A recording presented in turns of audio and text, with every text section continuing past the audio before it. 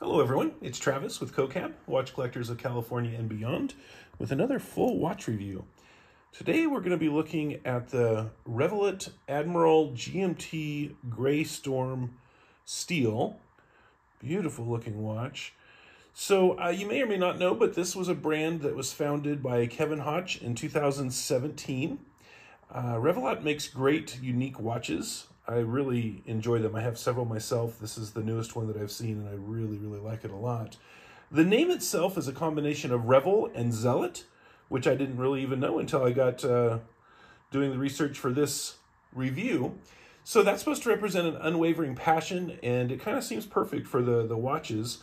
I've never known for sure how to pronounce this, but now that I know it is a combo of Revel and Zealot, then I'm going to go with Revelot, because that seems like the, the best combination of those two words. Um, Revelot makes really nice watches, and they do so at a very affordable price. And we'll kind of get into the details of this one here in just one second. Just a reminder what makes a CoCab review different.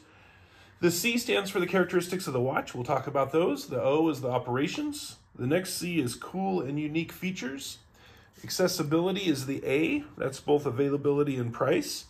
And uh, B is the brand offerings and, and info. So some of the characteristics of this watch, the Admiral GMT is inspired from the littoral, I think is how you pronounce it, combat ship, which was a surface vessel designed for military operations near shores. And with its 200 meter water resistance, you can actually see that right there in the dial, it seems to be the perfect timepiece for near shore activities. So, all right, let's jump into it. The basic specs, this is about 13.5 millimeters thick. You can see the thickness there. You can also see the nice signed crown. Uh, it weighs about 206 grams when it's sized for an eight and a quarter inch wrist on the metal bracelet. Diameter is about 41.5 millimeters, both the case and the bezel. Uh, it's about 47 millimeters at the four o'clock crown. So you can see the crown sticks at about four millimeters there, a little bit, little bit more. It kind of is in set, so it's a little bit different uh, depending on where you measure it. And it's about 48.5 millimeters lug to lug. While we're on this view, I just love that side profile, all the different angles and the chamfered edges, the inset four o'clock crown, some really nice look there. And then you also notice the, the case is kind of a elongated octagon. So there's eight distinct sides kind of stretched out a bit. I really like it, something just a little bit different. Uh, it is water resistant to 200 meters and it does have a two year warranty. So those are some of the basic specs. The dial, as you can see, is one of the coolest things, I think. It has a whirlpool style dial that is kind of reminiscent of the, the ocean. You can see that. And real quick, we'll, we'll talk about the case back in a minute, but I do want to point out you've got something kind of similar on the back as well. So nice design elements there.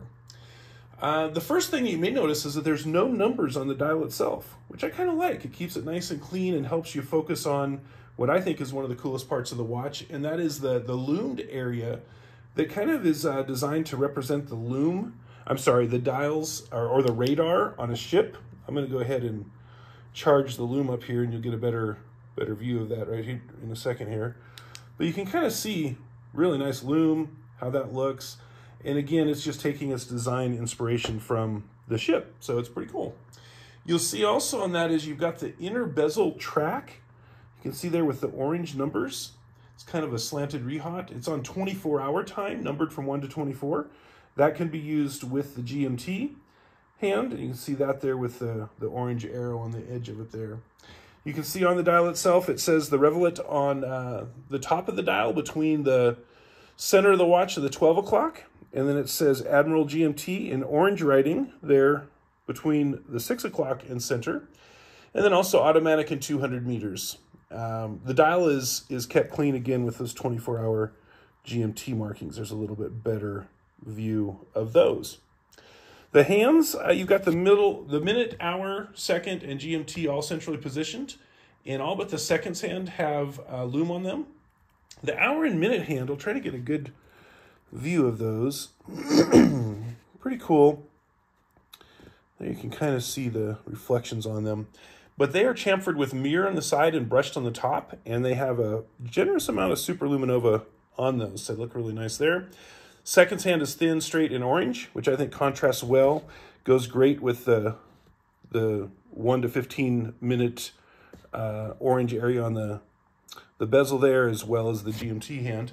The GMT, of course, is thin, black, straight, and it has the orange outlined lumed triangle on the end there. Excuse me.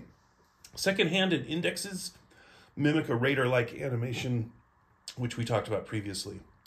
The date window is at 6 o'clock. You can see it right there. I like how it's just kind of integrated right into the lumed area, mimicking the dial or the radar of a ship. Day colors are white with black numerals. And I feel like they're just positioned well there and they blend well with the design of the watch. The indices we talked about already has the slanted rehaut track, has 24 numerals, atop horizontal dashed lines. You can see those there. No numbers on the dial itself. And then 20, 30, 40, and 50 are enumerated on the bezel with one minute marked indice lines all the way around. The lume is either Swiss C3 Superluminova, BGW9, or Old Radium, depending on the model. The bezel is the unidirectional rotating, let you listen to it, and this is the 120 click. It is a ceramic bezel, has the lumed orange, I went too far there, 15 minute section, and lumed minute markers, and then the 20, 30, 40, and 50. There we go.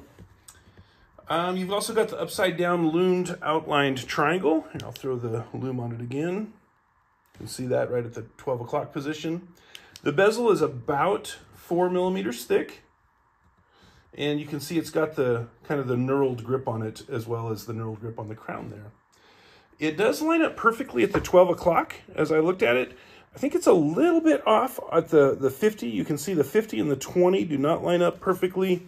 And then the 20 at the 4 o'clock, just a little bit off. Uh, nothing horrible, but just a little bit. Uh, the 12 o'clock, though, does seem to line up really well on, on that. The crystal is AR coated, chamfered flat sapphire crystal. Has really good uh, AR on it for the most part. Uh, the case is brushed 316L stainless steel. One thing I love about this watch is it just about won't uh, get messed up with fingerprints, and it just stays looking really, really nice. Again, you've got the unique stretched octagon shape that we talked about, and it's got very cool angles, especially when you view it from the side. see if we can get the light to kind of play off of those. I really, really like it. And then also when you look at it from like dead on on the lugs, you can see also just some of the design elements there. So very nice looking uh, case there. Uh, you've got the crown at the four o'clock position. It is, oops, got the watch upside down. It is screwed down with O-rings. Round, knurled, and good grip. It's about 6.9 millimeters in diameter, and it's inset into the case. You can see that right here. Kind of see how that goes inset into the case itself there. It is signed with the unilateral logo, and it looks great in any position. The lugs, again, um, are 48.5 lug to lug. They are not drilled. I always like drilled lugs, but this does have, I'll just throw that right now into there, the quick release uh, bracelet. So you got a double-sided quick release bracelet uh, on both sides of the, the bracelet there, so that's cool. Uh, the lug width is 22 millimeters, and um, the bracelet, I wanted to point out, does taper from 22 millimeters. The first two links tapers down to 20, and then it's 20 from there on down to the actual clasp, which is signed with both the logo and the name. The clasp is a double-sided, and it works well. If you only do one side or the other, it will not open, so you got to do both sides. And also, I want to just kind of point out, it is a on-the-fly adjustment. You just push that, and you can see that pulls out, and then you can push it into whatever level that you want. It does have about one full length. If you watch from here to there, and then the distance from there to the next link, it's about one full length um, that you got for adjustment. So that works out really well. More than that, you just take a link out. Case back. It's not an exhibition case back, but it is a nicely designed case back. It says R10 Admiral GMT 200. Japan Automatic Sapphire Glass, 316L stainless steel, and it does have the groove screw down decorated embossed case back with the logo and the whirlpool action to match the front dial. Again, pretty nice design elements. All right, let's look at the packaging. I'm going to set the watch down. Here's the box that it came in. See the marking? It's black with kind of a gold trim, which looks really nice. Inside of it is the cushion pillow the watch came in. And then you've got uh, an extra chamber that comes with the back, um, the warranty card, but you've got a whole other section there that you can put an extra strap in or even a second watch or whatever you might like. The warranty card talks about the two-year warranty, and it also has on the back a watch setting manual, which was pretty cool. It actually has the setting instructions for all the various models, including this one. And then you've got the warranty information as well right there. So good stuff there. All right, so the operations side, the movement on this is a Seiko NH34 GMT automatic. You may know that's a 24 jewel movement, 41 hours of power reserve, about 21,600 vibrations per hour. And it does have the Seiko Diashock anti-shock system. This movement was released around the summer of 2022 and is a very reliable uh, movement for you. The experiences I had with it, winding, very smooth, proper amount of tension. We'll just do some of it together. Unscrewing the crown is about four partial turns. And uh, there went four and a half, I guess. But as you uh, wind it, it's just very nice and smooth. Oh, there you see a, a little bit better picture of those hands too. Setting the time, very smooth. Well, first I'm going to do one click out. So one click out, you can set the GMT hand. You can see it goes one hour at a time. And then the, the opposite way, you can set the date and it clicks right into place very nicely. And then when you set the time, one of the things I really liked about this, if you watch the knurled crown there, you'll see there's almost no, it's I would say probably a tenth of a turn or less before the hands engage, which is a little bit better than some of the watches that I've looked at. So really good movement there. Um, turning the bezel, let me go ahead and screw the crown back in just so I don't forget that. Again, it's about four screws and then you're good. Turning the bezel, it's unidirectional. It could have a little bit more grip. I'll show you there. It's nothing bad, but it's not as grippy as what it could be. Uh, as a matter of fact, if you look at both the, the crown and the bezel together, the crown has pretty good grip. It's a little bit more uh, pronounced grooves, I guess, if you will, on it.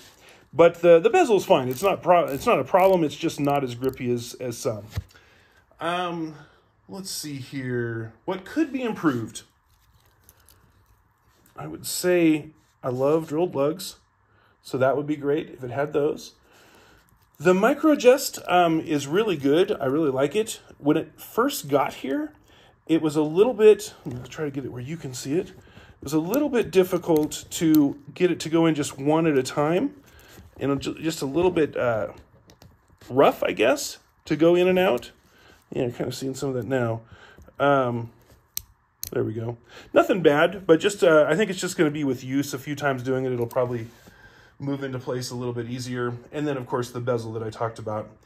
And then if I have to nitpick, the alignment, again, we talked about is just a little bit off, nothing bad. Um, one thing, just a more of a notice to, to anyone that looks at the time setting manual, it has pictures of the bezel turning clockwise when it actually turns clock uh, counterclockwise. It will not go clockwise, so just to, to point that out.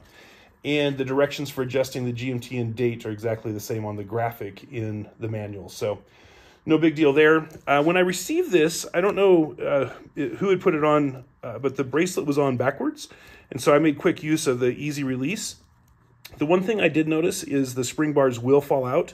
Some are kind of kept into place unless you uh, work hard to get them out. These ones will fall out, so no big deal, but just a heads up, I do love the quick release spring bars. It makes it so much easier. All right, so cool and unique and what I love, I love that dial design. Something unique and it really that that radar look with the whirlpool look I, I, just think it works and then if you don't like this colorway you'll have to check out they've got a lot of other uh, options for this exact watch so it's pretty cool love the ship references the radar lume i love the hands uh, the on-the-fly adjustment bracelet even though it sticks a little bit sometimes that is so nice when you go through a day and then that cool case back that matches the dial just a lot of things I love about this watch. And then again, it doesn't collect fingerprints. You've seen me handle it this whole time and it still looks great. So really, really like that. One of the other things I have to say that I love is its price. It's available right now for $269, which is just amazing, I think, for this watch. Um, so accessibility is, you know, both how affordable it is and how available it is. Check it out. You can go to revelot.com, R-E-V-E-L-O-T.com, and check out their whole website. There's tons of other models. They do have a black DLC of this exact watch coming out, uh, or I think it's actually out, and then an Admiral GMT Damascus that's going to be available on the 23rd of April, 2024, so just a few days. So thank you so much for watching. Please put any comments uh, on the, the actual video. Please like, comment, and subscribe, and have a fantastic rest of the day.